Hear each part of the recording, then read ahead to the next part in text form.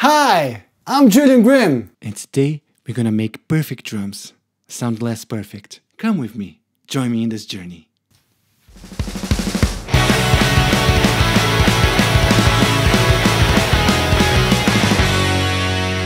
Okay, so in the last video I showed you how to use take lanes in Ableton Live 11 to create new and creative drum patterns out of old and pre-made drum patterns. I hope you enjoyed that video. If you haven't watched it, please go back and watch it before this one because I think it makes sense. But anyways, today we're gonna make those drums sound even more original and more fresh and more new and more human. Because you know, I know it's unavoidable. At some point, humans are gonna become machines. And I gotta admit, I can't wait until I'm able to just download Kung Fu into my body. I know Kung Fu. But till then, we still like imperfect things. And we're gonna make these drums imperfect. Because you know, when a real drummer plays, his body and his brains add a bunch of variables, right? How strongly he hits the drums each time. He never hits the drums the same twice, right? He might get also a little tired and weaker at some points, more angry and stronger at other points, you know? And also, sometimes his mind might wander off to a faraway land. And he might forget how he played the chorus last time, and he might play the other chorus completely different. And that's also cool. That can add a lot of interest and intrigue to a drum track, right? It's cool. It's nice. It's human. It's alive! But when it comes to MIDI drums, how can we achieve the same effect? We can always manually play the drums on a drum pad, on a keyboard, whatever. But that's that's a lot of work, right? And I'm not a drummer. To play punk rock music like I like to play, I, ha I have to have really fast fingers. And I do have some pretty fast fingers, but I still get tired and sometimes I just want to get on with my track without having to worry about the drum so much. So if I'm using the pattern that I already had from the last video, right, that's ready, it's done for me. I just want to add some, some uh, variables to it. How could I do this? Well, let's go into the software, right? So here's the little pattern. First of all, remember commitment. Let's delete the take lanes because we don't need them anymore. Let's select these drum clips, Command J, consolidate them into one. And now I can double click it like this and open the MIDI editor. So I could go in here and just go nuts like, uh, I can edit the timing a little bit of these and I could uh, edit the velocity of each one like this and I could delete this one just to make it a little bit in this one. You could do that, you really could, you know, and it's fine if you want to do it that way. But now with Ableton Live 11, there's a new way to add some humanity into these MIDI clips without having to spend so much time doing it. And these are with the two new features, chance and velocity range. So again, I double clicked the MIDI clip, it opened down here, right? Let's make it big by dragging it up right here. You see that now we have this new arrangement of buttons here. Some buttons were here before in Ableton Live, some are new, but we have velocity range. This is the first thing I want to talk about. Velocity range adds a little bit of inconsistency to how strong each note is played by your MIDI drummer. If you go down here, there's this little button that opens the velocity editor, right? Let's select all the toms right here. You can see their velocities down here. And the guy who programmed these drums, he, he did a good job by like giving them different velocities and all that stuff. But if you want them to be even a little bit more wobbly and human, we can raise the velocity range or lower it. So you see there's these little bars coming out of their velocity measures down there. You see this?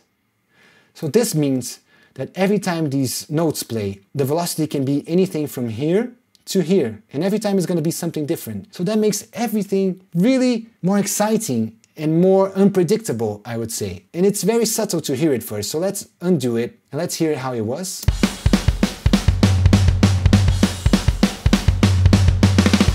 Now I'm gonna really exaggerate this, yeah? I'm gonna make it real big, like this.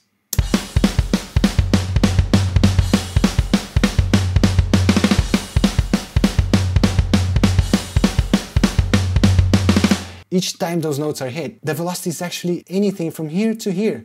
It's really cool. I'll leave it to something more sensible, like this maybe. And I'll show you the next feature that's really cool to add some inconsistency into your drum tracks. So uh, the next feature is called chance. And it's exactly that, it's like the chance, it's the probability of the notes hitting every time the playhead goes through them. I'll show you how it works, it's easy if you look at it. Okay, so let's close the velocity and let's open chance like this. You see, chance varies from 100% to 0%. 100% being that every time the playhead goes through the note, it's gonna play. 0% it means that it's not gonna play at all, never. And 50%, it's gonna play 50% of the times. So again, we have the toms here. Let's put the toms at 50%. And let's listen to how that sounds.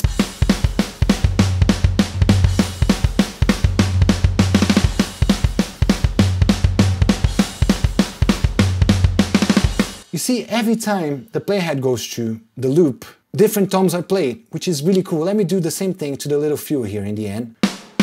So the first note I wanted to play every time, but the last ones, let's just make them 50 as well.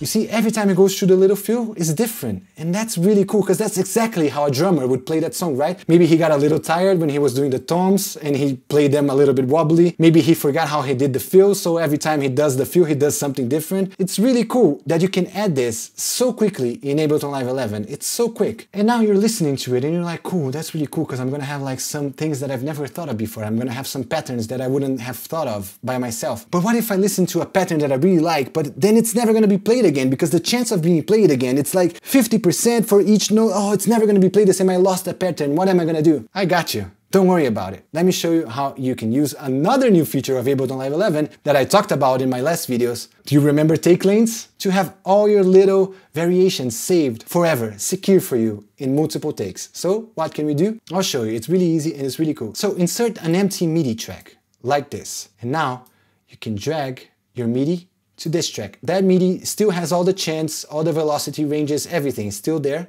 You drag it down here, still all there. See? Rename it. Let's rename it drummer. This MIDI track is now our drummer. Go back to the track that has your plugin on. See Steven Slate drummer right here, this track. And as your input, choose drummer, and you can put it pre-effects, post-effects, it doesn't really matter. And now, this track is free to be recorded on. You see, you can record enable it, and now you can record whatever this track does on this track, and you can listen to it at the same time. So we got the loop on here, as we always did. We can right click the track. You see, show take lanes is selected, but if it's not, you can right click, show take lanes, and if you press record, you're gonna see the magic happen. Just check this out.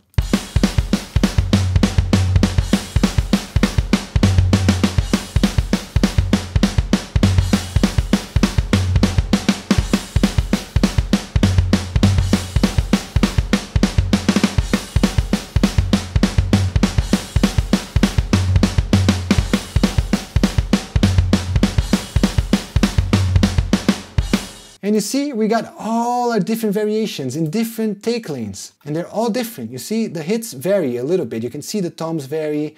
You can see the feel really varies every time.